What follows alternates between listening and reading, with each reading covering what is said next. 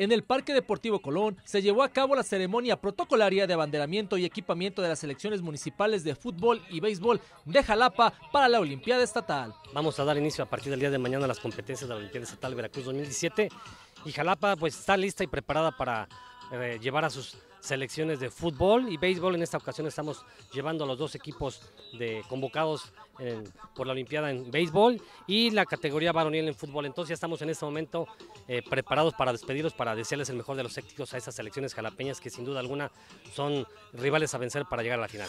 Entre, entre entrenadores y deportistas tenemos un contingente aproximado de 377 aproximadamente. Eh, cantidad que va variando dependiendo de las diferentes categorías de altas y bajas, como tú sabes, luego se presentan.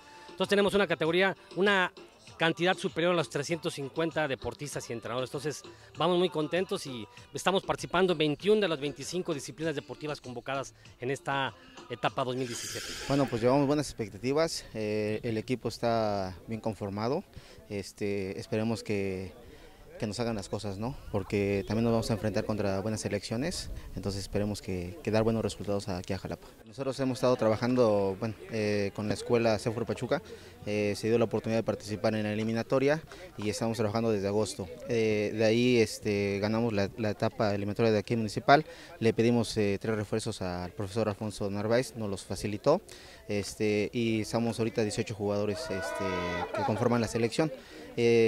Esta semana trabajamos eh, todos en conjunto y esperemos este, que con esto nos alcance para hacer buenos resultados.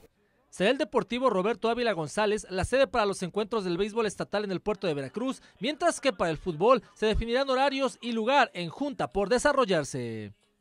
Para RTV Más Deportes con información de Atanasio Reyes.